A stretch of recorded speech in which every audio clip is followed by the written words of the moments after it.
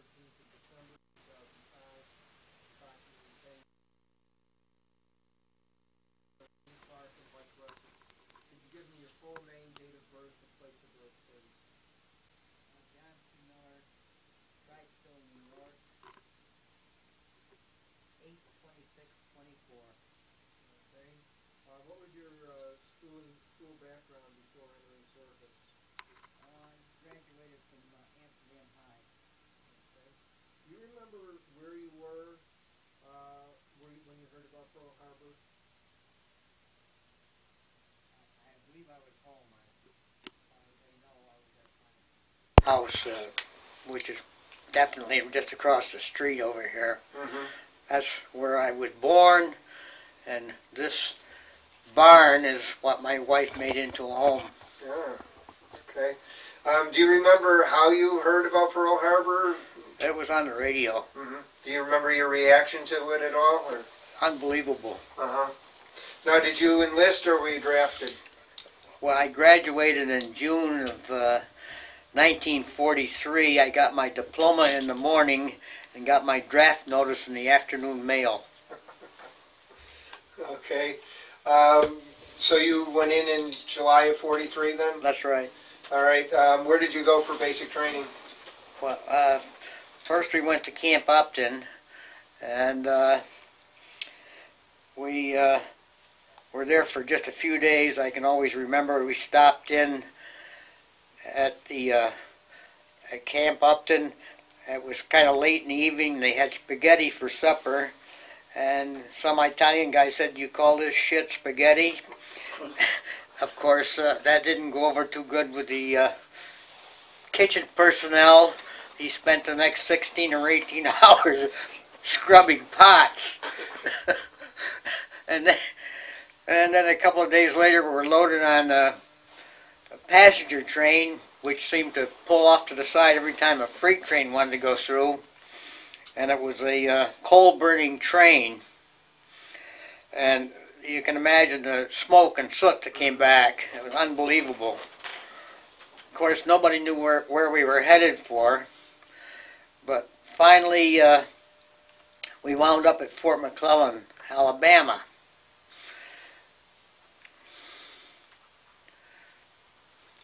So that's where you uh, spent your time in basic there? So what, uh, then uh, I was assigned to uh, the 19th Battalion, Company C, which was uh, specialized in 81 mortars and the, water-cooled 30 caliber machine gun. And that's what I trained as. And of course, it was always the uh, uh, calisthenics and the various classes you went through for gas masks and all this sort of thing. But I'll never forget when uh, they took us out. They're going to give us a little uh, information about how the artillery operated. So we're kind of sitting on this hillside, and the 155s roar overhead, land out into the pine forest, and the, or the lieutenant says, "Do you think anybody could live through that?" And about that time, six or eight deer come roar, roaring out of the woods. Unbelievable. so that was the end of that. How long were you at Fort McClellan? I believe it was 16 weeks training. Where did you Where did you go from there? Well, uh, after uh, Fort McClellan, I was uh, given a delay en route. I came home for a few days. Then I went to uh, Fort Meade. I was only there a few days when I got shipped down to uh, uh, Camp Patrick Henry, and that was a kind of a mud hole at the time. It was just had been made. Um, shortly after that, we loaded on the uh, General Butner, a, a troop ship, which carried thousands of men, and it traveled all alone. And across the sea, we went and wound up at Casablanca.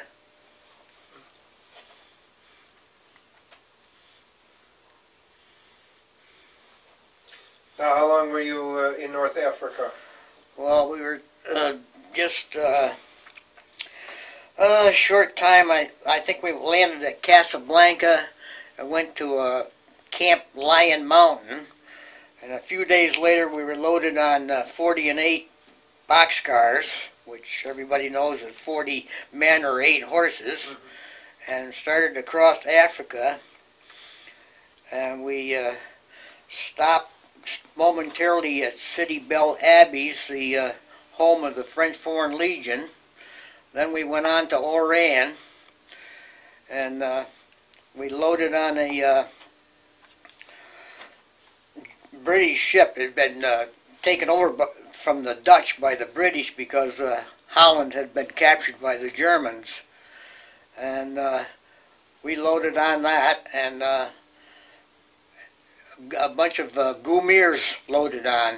There were uh, French North African troops, mountain troops, and of course they loaded on. They had women with them, plus their goats, which they let on board this ship. Oh boy.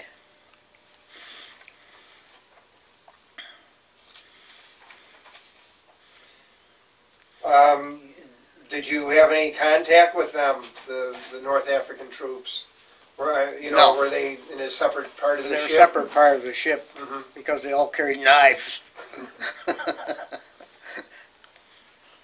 Hey, where did you go uh, after you left North Africa? Well, we went across the Mediterranean and arrived at Napoli, Naples, and uh, the I remember the Vesuvius was erupting and twin streams of lava coming down the side of the mountain. Uh, the uh, German Air Force was there to greet us, and at, at night the sky was loaded with tracers and and bursting anti-air aircraft shells. Just unbelievable. And from there we went, uh, well, I just stayed there for a short time. And the next thing I know, we're loaded on trucks and we're heading back for the port of Naples. And we went through a little village of Bagnoli before we got to Naples, and somebody had written on the wall, uh, and when he goes to heaven to see St. Peter, he will tell another dog face reporting, sir, I've spent my time in hell.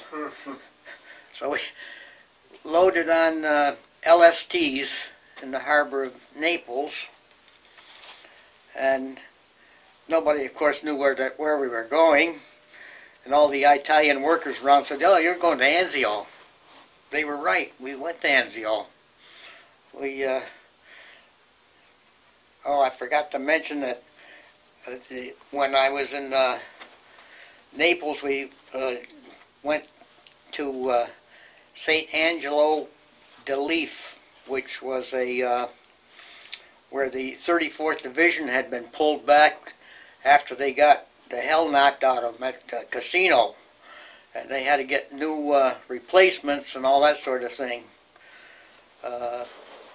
When we got there, it was in the evening. I ganged up with another guy and we put our pup tent up. The next morning we woke up, there's about eight inches of snow. The pup tent was laying right on top of us. And we went to the CP and uh, they asked what I trained as, and I told them 81 mortars and heavy machine gun, and they said, okay, report to the sergeant in the weapons platoon of Company B, which I did, and I was put in a machine gun s- squad. So you came in as a replacement then? That's right, yeah. Okay. And uh, well, when the uh, when we landed at uh, Anzio, the uh, Germans had the same party going again in, for bombing the place. And up in the hills, there was a gun that we referred to as Anzio Annie. It was uh, during the day. It was pulled back into a tunnel, and uh, they'd take it out and fire a couple of rounds into Anzio or into the harbor. And when this shell was going through the air, it sounded like a freight train going sideways. It was terrific noise. If it hit a building, the whole building was totally destroyed. Big building there. And Now, did you have winter gear at this time? no. The we had the, what we had wore before. We had overcoats and like that, but not Mhm. not really equipped for the winter time yet. Un, unfortunately, You didn't have uh, rubber boots or gloves or, we had gloves, but no rubber boots. Same same leather boots we had before.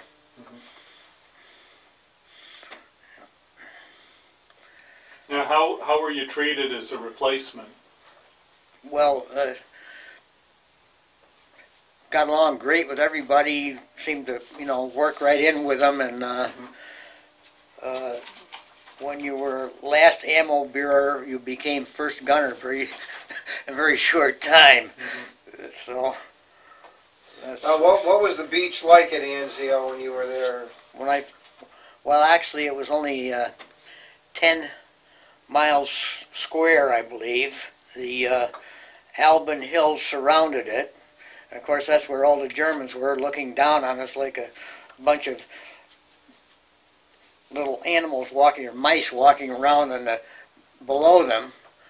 And during the day, there was no activity at all because they would, the shells would come in. They, anything could be hit. Evacuation hospitals were right next to ammo dumps and everything. I was so crowded with uh, equipment and all that sort of thing.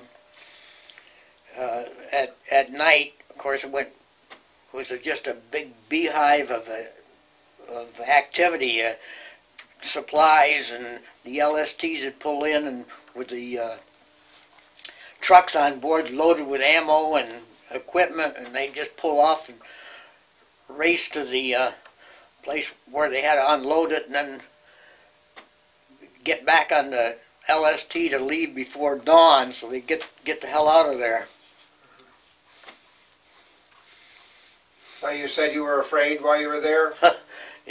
Yeah, well, the, one of the first things we saw when we landed was a, a cemetery.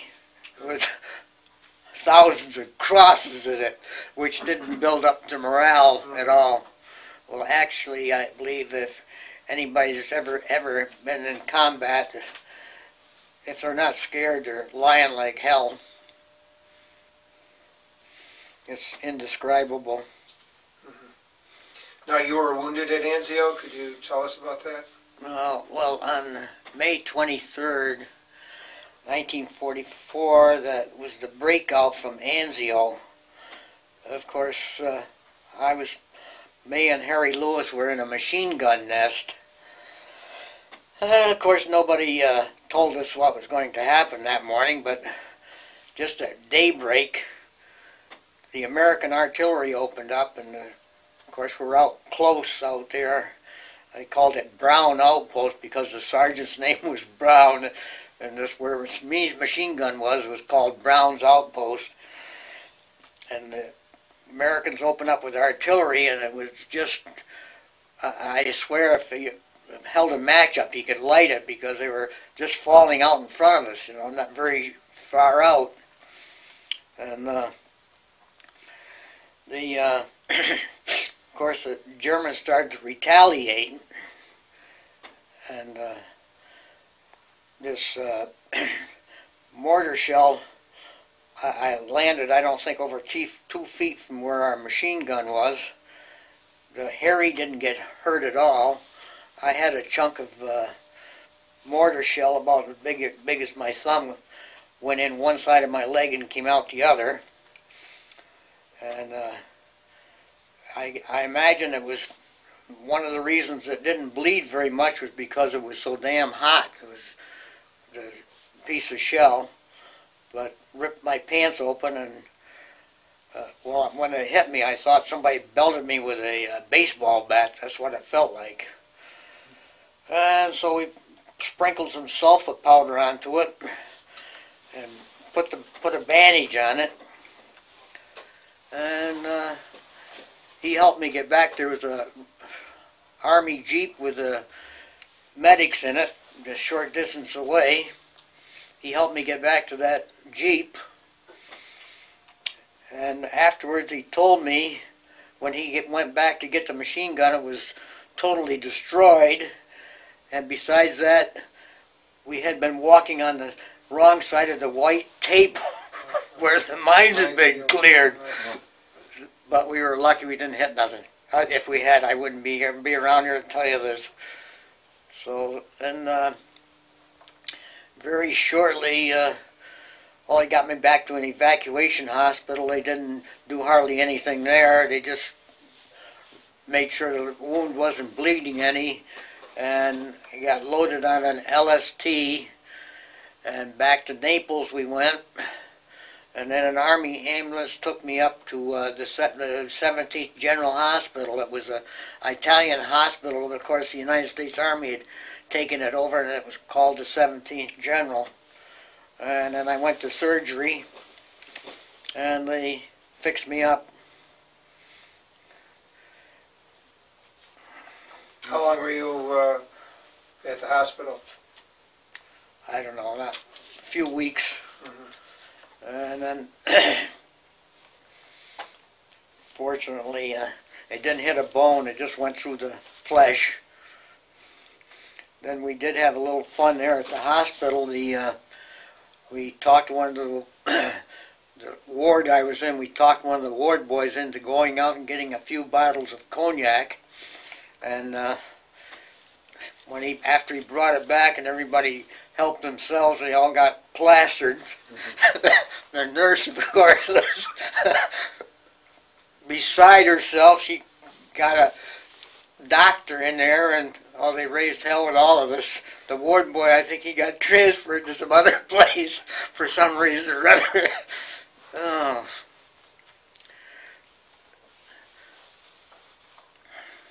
Now, um, what was the food like, uh, both at Anzio and then in the hospital? I know it was different, but Oh yeah, at Anzio we had either K's or C's. mhm. do you ever have shortages at all, or No, they kept you No. pretty well equipped? yeah. In the hospital, the food wasn't that bad. Pretty good. Um, did you get a leave, or did you go right back to the front lines? I went back right back to the rejoined the company, and Mhm. Uh, they were a little above Rome, and they were, of course, they're chasing the uh, Germans up the peninsula there.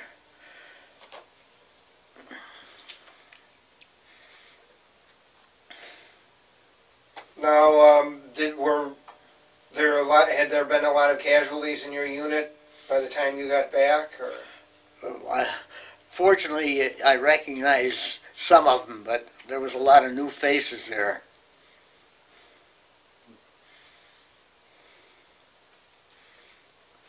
You were reassigned to a machine gun?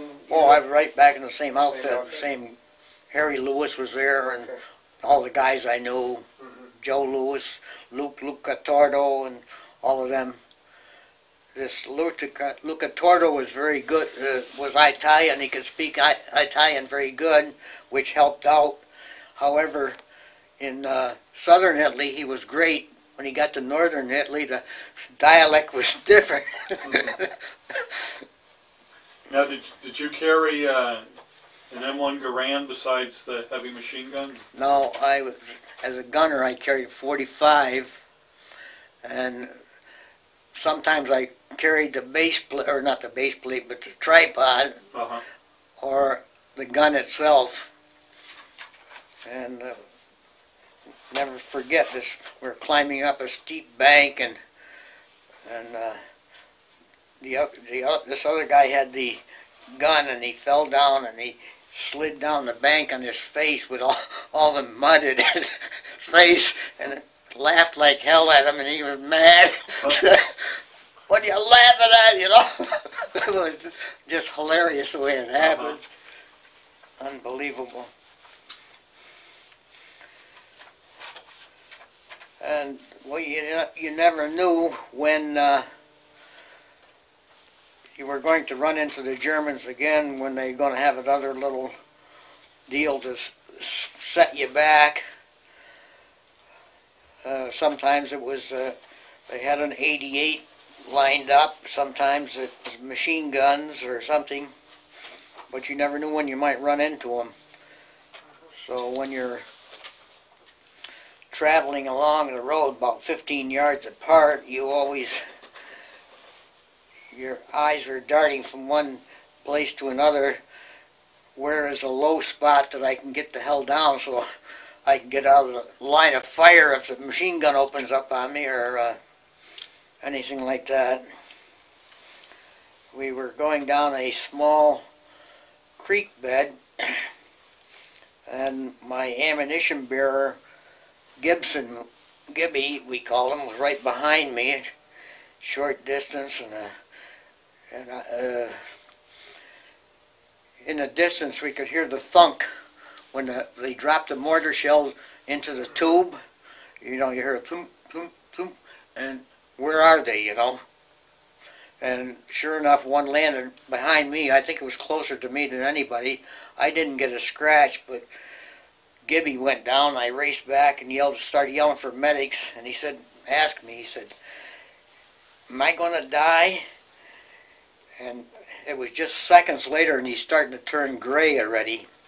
And I said, "No, no, Gib, you'll you'll be seeing those pretty nurses in a very short time." But I knew I was lying to him at at the time.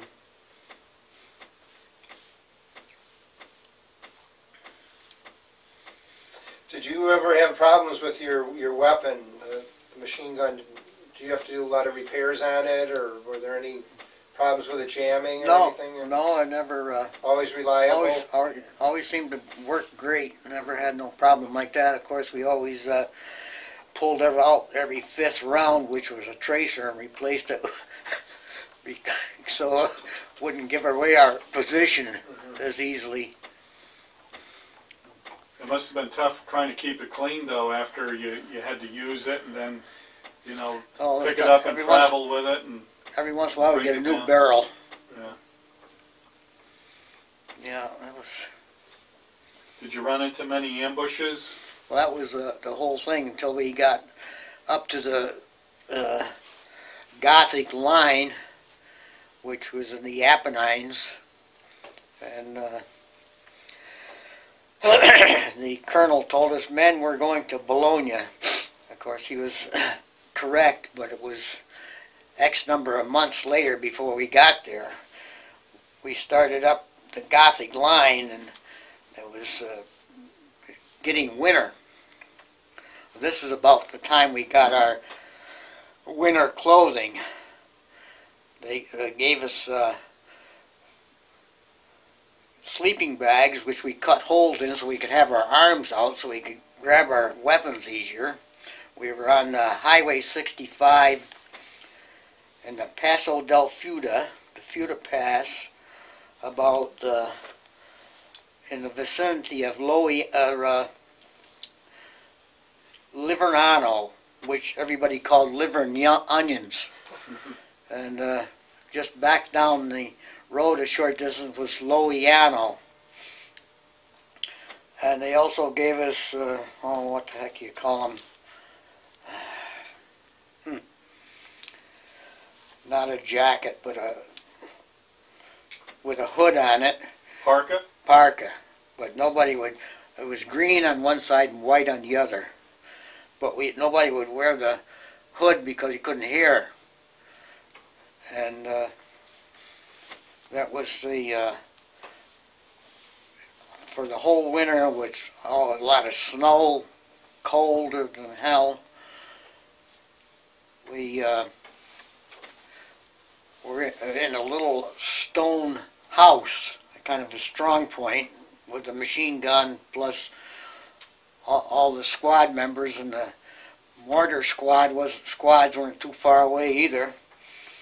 And I remember a guy by the name of Pardue during the day we didn't have didn't you know have a real too many people on guard just one or one or two watching and Pardue was looking out the window, and apparently a sniper had got into some position and shot him right between the eyes.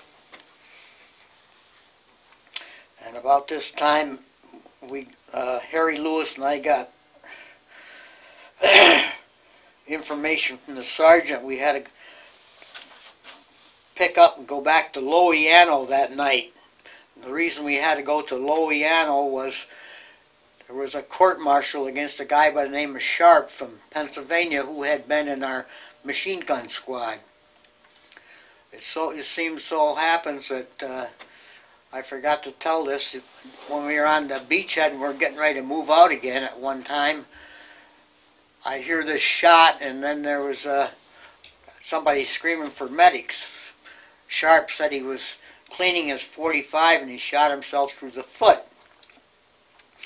Sometimes I wonder if I heard somebody yell medics first and then the shot or vice versa. but anyway, uh, he had given himself up after several months and uh, he was in for court martial. The uh, uh, his defense attorney, Lieutenant, called Harry in and he asked him a question. He said, Would you like to have Private Sharp back with you? And, yes, sir. And he called me and, Would you like to have Private Sharp back with you in the company? Yes, sir. So, out. We wait a while. Out comes Sharp.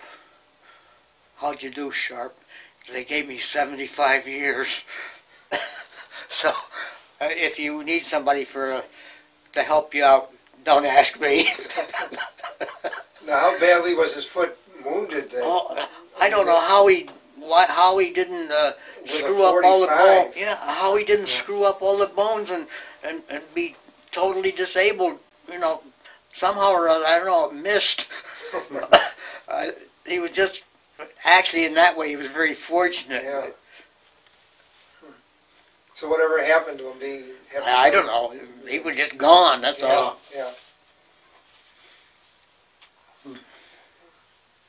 Now you uh, you said you were close friends with this Harry Lewis, but you called him the old man of the the No, no, outfit? that's, that was Pappy Gurk. Oh, okay. I, I know you wrote that down, and Mhm. Okay. He was, well, like, we're all about 19 or 20 years old, Uh-huh. and he's about 26 or 27.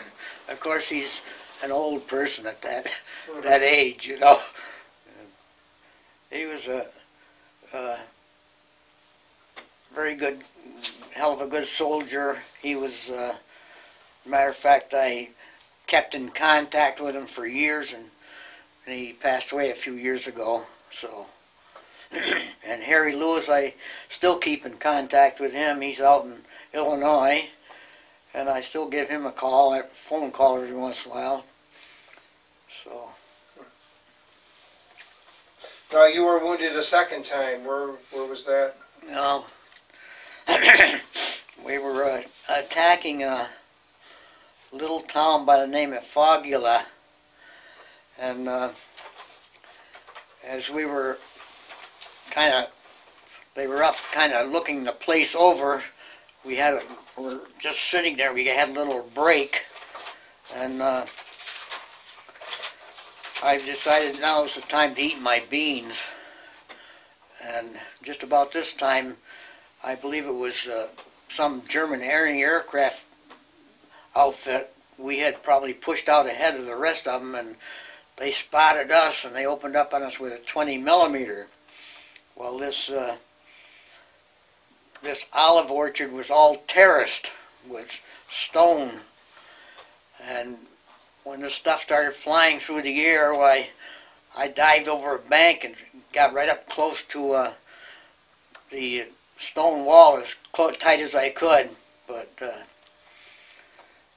I thought I felt something, and I reached around my on my cheek of my ass, and sure enough, there's blood.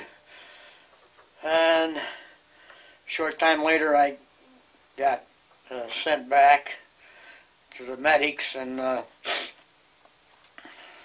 went to the hospital. They took the shrapnel out of my rump and I also had some of my left ankle. They took that out.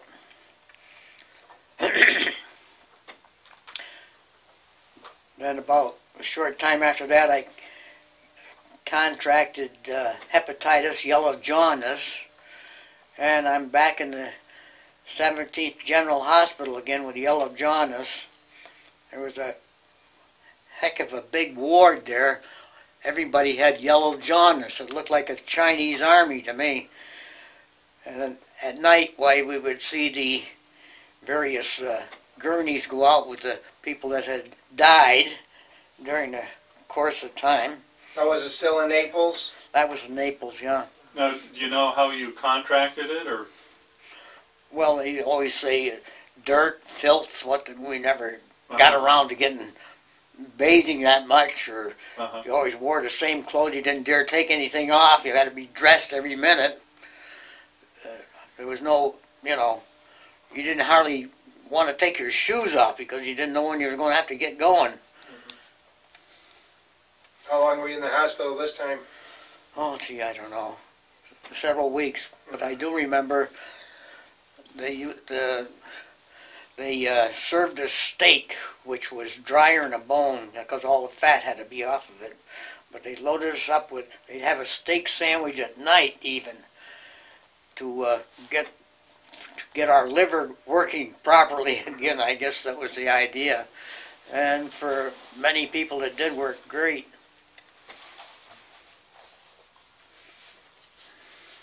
Now, did you return to your unit after after that? Oh yes, uh, back to the same outfit, Company B, the machine gun squad. and Back with my buddy Harry Lewis. He he was one of the lucky ones. He never got hit. And uh,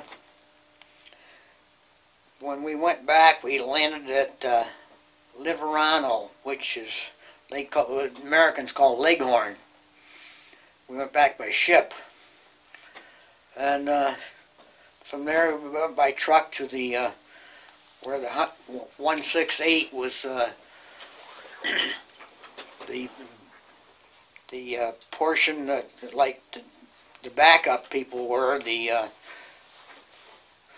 CP and all that stuff for the, for the whole, re- the regimental CP.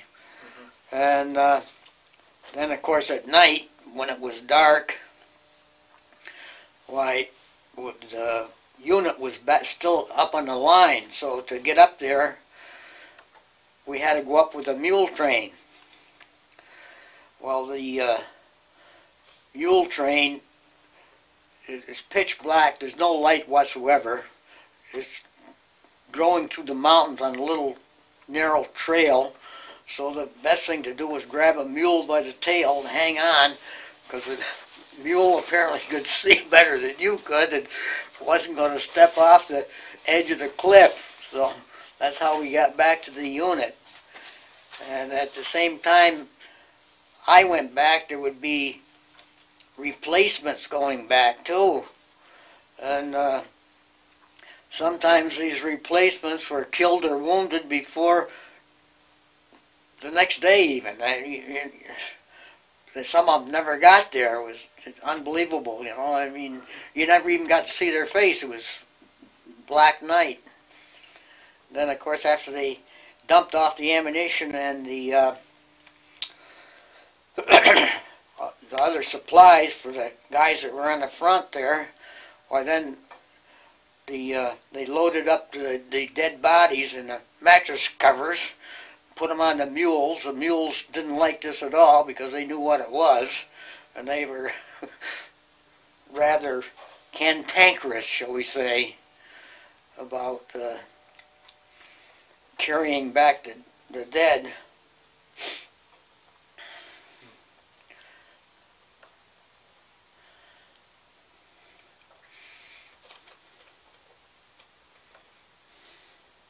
And whereabouts did you go next? Well, on the Gothic line, we uh, they finally spring came. We was glad to see spring come because it got milder. Of course, the mud was terrible, but we knew that if when spring came, we're going to attack again. And uh, it wasn't long before the word came, I forget just when it was, April or something like that. they decided they're going to punch down into the Po Valley. Well, the uh,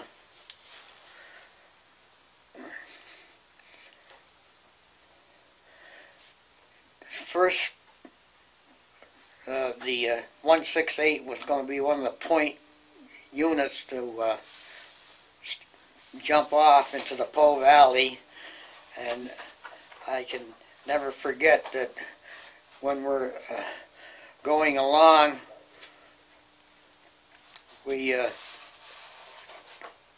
looked back and and and s- spot a little sign that the Germans had put there, which said Achtung Minen, and we had walked through that place. Fortunately, none of us got uh, stepped on one at the time. I do remember our uh, radio operator Anderson. He had stepped on one and it blew his foot right off, and he died from shock. We, when we finally got into the Po Valley, it was uh, we uh, we found a lot of bunkers that the Germans had been in, and uh, we had this lieutenant who had was a 90-day wonder who had just joined the outfit, and uh, he was referred to as Lieutenant Meathead because uh, he insisted on wearing his gold bars, which no other officer ever did, because they knew they'd be the first one to be shot if, if somebody spotted it. But anyway, uh, a bunch of Germans wanted to surrender, and they raced right up to him and surrendered to him. And one of the guy, one of the Germans could speak English, and they said they surrendered to him because they saw he was an officer. Unbelievable. Oh, jeez. Did you ever get any leave time while you were? Oh yeah, I uh, went to Alassio, Italy. It's on the Tyrian Sea, way up on the uh, on the northwest corner of Italy, and it was a beautiful uh, sandy beach, and uh, they even had us issue beer up there for heaven's sakes, and uh, there for a few days when you went into town, there was a big sign that said enlisted men only, officers only allowed if accompanied by an enlisted man. Then I got to Rome for a while, and uh, I saw all the uh, various, the Vatican and uh, the Colosseum and all the various sites there, and uh, I even the uh, arena where they were going to have the 1940 Olympics. Uh, it was quite a all the statues and everything around it was unbelievable. Uh, got around and chased the girls every once in a while. It was very exciting. Did you uh, get to see any USO shows at all? Oh, I got, uh, uh, let's see, it was, uh, oh, Andrews Sisters. Mm-hmm. Somehow or another, we got, uh, a chance to see them, and we got trucked over there, and we're sitting on like a, it's like an amphitheater on a hillside, and they had a stage set up, and it's raining, started raining, and the girls, the, their mascara's running right down their face, and they stayed right there and sung, and that one soldier got up and left, although he got soaked, you know. They stayed right there, it was un- unbelievable. So you didn't see Bob Hope or anything? No, I didn't see him, no. No, you you must have been in combat almost all the way to the end. Oh, yeah, that was, uh, when we, after we broke into the Po Valley, why, the unit was racing back and forth so much, it was unbelievable because the Germans were trying to get to the Austrian border and we would go at one point and block them off, and then, oops, you got to race back to another place, and I got to, I was in all, uh, oh, I, I, I got to Milano, I saw where uh, Mussolini and Clara, his uh, mistress, were strung up by their heels in the gas station there in Milano. And if name any city in the in there up there, and I, I was there actually. Busto Arsizio, Torino, Trieste, Parma, Verona, Pistoia, any of them say I was there. I was up on the Austrian border, and I was over on the French border, and uh, the Italians and the French were having an argument over who owned some rocky old mountain over there. So they sent our outfit over there to kind of stand in between them, keep them from get, going into battle. We had a big, uh, the uh, battalion had a big, uh, like a big uh, march through this village there to kind of cool them down a little bit. That we were there to keep order. And then uh, after that deal, they sent us over near Trieste. There had been a naval uh, arsenal over there, Italian naval arsenal over there. Well, all the uh, powder increments were in cloth bags, and the local population, of course, there's no more Italian army there. They got into there and they're dumping out these powder increments to get these cloth bags. Well, unfortunately, somebody decided that now's the time to light up a cigarette. And the, the one building was, there was nothing, it was just blew, blown right flat. So we went over there to stand guard on the rest of them that were still standing, keep the people out of there. What did they want the cloth for? They wanted the cloth bag, that's all. hmm Uh, how were your what were your were your relationships like with the Italian people? Did you have much contact? Not an awful lot. Uh, uh, the uh, one time earlier, I got to tell you about uh, this Harry Lewis and I. When we were moving up north of Rome, we got to this one place, and there was uh, several Italian partisans came up, and they wanted to come to their little village. And we said, "How far are the Tedesco?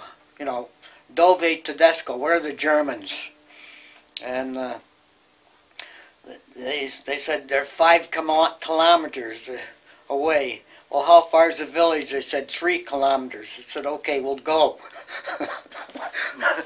like idiots, we went. We went, and of course, as we pulled in, they uh, found a couple of bikes for us to ride. So we ride into the village, and we're pelted with flowers, and of course we're drinking vino and getting all smoked up, and we hung around there for a while. And then we got back to the company. But after we thought about it, what idiots we were to go that far out.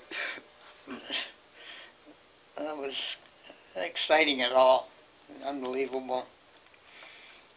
Uh, you wrote down a story about uh, a friend named Comer. Oh, geez, carbine. yeah. Uh, when, when that's, that happened when we were uh, uh, chasing the Jerry uh, north of Rome. Uh, we moved into this little village. It was all stone places, and as a matter of fact, when we got in there, there was still embers in the fireplace. So it was getting toward dusk. So we decided, well, we better uh, put a shelter half off over the door so no light shows through, and got the fire going a little bit. And matter of fact, we went upstairs and was digging around in some wheat and found some hams in there. And uh, Harry and I was up there going to re- rest a little while. Comer's downstairs. The door opens and somebody pushes the shelter half back and Comer yells, Jerry! And grabs his carbine. The friggin' clip falls out of it. the, the Germans took off running down the street. Uh, you could hear them hobnails clicking on the stone uh, roadway, you know, and nobody got a shot at him. However, the next morning when I started looking around with binoculars, uh, our old Sergeant Griska there, who was the head of the mortar platoon there, he had his mortar set up and we're out in front of us. They spotted some Jerry's out there and they started dropping mortar shells onto them. It was un, un, just unbelievable. If a guy had ever thrown a grenade in there, he would have got us all. Mm. Those funny, strange things happen like that. And sometimes some of them you live to talk about. So where were you when the war ended? Oh, I was up in the uh, Po Valley up near Trieste at the time. And uh, uh, they, uh, we were over there because the uh, Yugoslavians and the Italians were having a big debate over who was going to own Trieste. I mean, I think it was Italian owned at the time, but there was always a big debate over who, who should own the city of Trieste. So we're, we were over there, the same uh, deal, trying to keep the peace. And while I was over there, uh, I had a chance to go to Switzerland. And I took that up, and it was uh, unbelievable the uh, transportation in Switzerland, the train. If they said the train is moving out at 9.05, you better be on it because at 9.05 it moved out. And it was just as clean and people were nicely dressed and, and unbelievable. And, and an awful lot of them could speak English.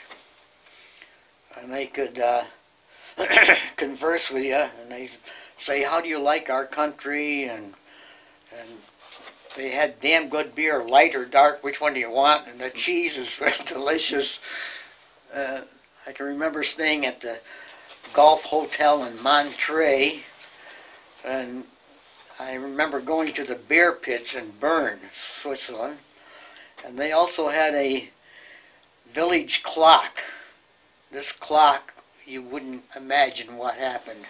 When it was going to strike the hour, a little door would open, and this uh, like looked like a little man came out with a hammer, and he would uh, hit the number of uh, times for the hour. And uh, another little door would open, and there would be three bears spinning around on it. Another door would open, and out would come a big uh, rooster and crow, and uh, you uh, it had to have a guide to point out. Now watch here, watch there, because there's so many things that happened. Somebody told me at one time they did have that on uh, television. That that clock. I don't know. You ever see it? No, I don't think That was. It's just unbelievable. What uh, what this clock would do when they uh, when it struck the hour. then uh, I got back from uh, Switzerland, and uh, they told me you better saddle up because it's time to go home. And we went back to Napoli, and there's the USS Wasp waiting. And they loaded thousands of troops on board. and of course, the bunks were if you pushed your knee up, you bumped the guy in the rump up above you. It was about six or eight high, I guess. And uh, away we went. And that was uh, about, it had been about two years since I'd had a hot dog. And I, I remember we had hot dogs on that damn USS Wasp. tasted so great, you know, after all that time. When were you discharged? Oh, December 45. Did you uh, use the GI Bill at all? No, I didn't, no. Um, 5220 Club. Oh, yeah, I was in that. Mm -hmm. Yeah, then I, uh, let's see, at, in April, I got a job with the state, and then I continued on, uh, working with the state, worked my way up to, I finally became chief up to Lock 13 on the Barge Canal. And that's, Did you join any veterans organizations ever? oh, I'm- Purple Heart and the DAV. And of course, I'm in the uh, 34th Infantry Division. Did you ever go to any reunions? No, I haven't. I, But you have stayed in contact with some. oh yes, yes, definitely. Well, I became life member, Mhm. but uh, my wife suffering strokes have kind of made it impossible Mhm. to go. How do you think your time in the service changed or had an effect on your life?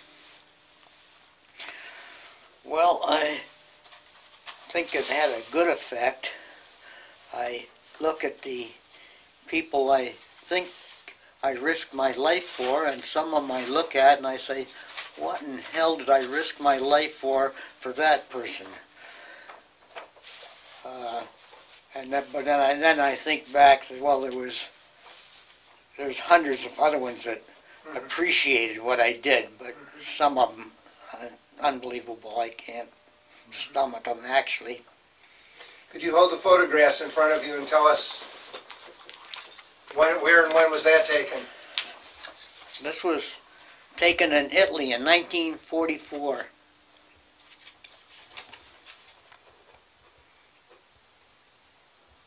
Okay.